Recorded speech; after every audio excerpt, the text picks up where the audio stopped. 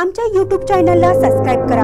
महानकारी news subscribe करा आणि notification on करा.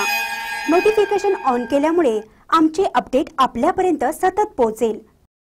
संभाजीपूर पेयजल योजनेसाठी जिल्हा परिषदकडून लागेल ती मदत करू. शुभांगी शिंदे यांनी दिली ग्वाही. स्वाभिमानी शेतकरी संघटनेच्या वतीने संभाजीपूर मधील पेयजल योजनेची पाहणी कोल्हापूर जिल्हा परिषदेच्या बाल कल्याण सभापती शुभांगी शिंदे यांनी केली. यावेळी संभाजीपूर पेयजल योजनेसाठी जिल्हा परिषदकडून लागेल ती मदत करू अशी ग्वाही दिली. संभाजीपूरमध्ये चार कोटी अडतीस लाखांची पेयजल योजना पूर्णत्वास येत आहे.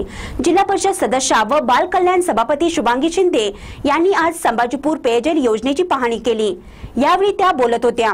सांगितले की तुमचं पाईपलाईनसाठी किरकोळ कामासाठी काहीतरी अडचण येणार आहे. त्याचे तुम्ही प्रस्ताव द्या. मी पण प्रामाणिकपणे त्याच्यासाठी तुम तुम्हाला प्रयत्न करेन. आणि सावकर साहेबांच्या स- पर्यंत किंवा माझ्यापर्यंत तुम्ही ज्यावेळी येईल त्यावेळी मी पण तुमच्यासाठी तुमच्या कामासाठी कार्यासाठी सक्षम राहील. पाण्याची आपले पाहणी केले. त्या आणि वेळात पण आपल्यासाठी बघायला आले.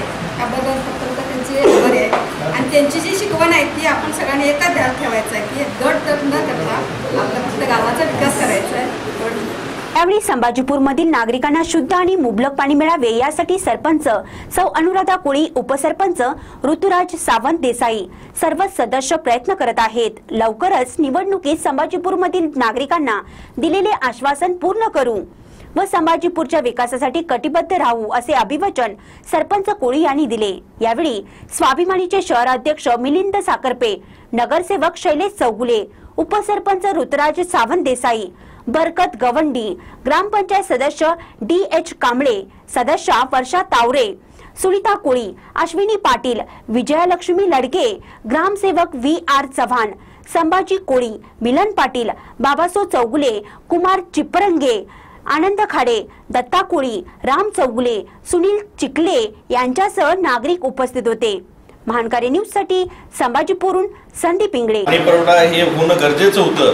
कारण इथं बोरला देखील बऱ्याच मी ठिकाणी बोर मारला आणि मग ते पाणी कमी असल्यामुळं थोडाफार कारण पाणी एक एकदा टँकरनं पोचवायचं देखील आम्ही काम केलेलं आहे. ह्या मी सभापती असताना काही याच आपले कार्यकर्ते स्वाभिमानीचे टँकरनं पाणी पुरवण्याचं काम देखील केलेलं आहे. मला एवढंच इच्छा आहे की ही आज मी तर अजून ग्रामपंचायतमध्ये ह्या ग्रामपंचायतसाठी देखील मी निधी देण्याचा प्र बराच काम केलेला आहे.